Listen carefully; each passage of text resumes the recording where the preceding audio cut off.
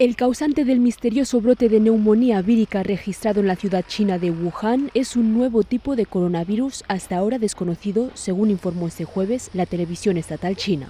Hasta ahora el virus ha afectado a al menos 59 personas, de las que 7 se encuentran en estado grave, mientras que 8 de las personas que sufrieron la enfermedad se han recuperado y han sido dadas de alta. El jefe del grupo de expertos encargado de detectar la causa de la enfermedad explicó en una entrevista que la investigación de este agente infeccioso podría llevar semanas y que no fue hasta la noche de este martes cuando los científicos fueron capaces de descubrirlo.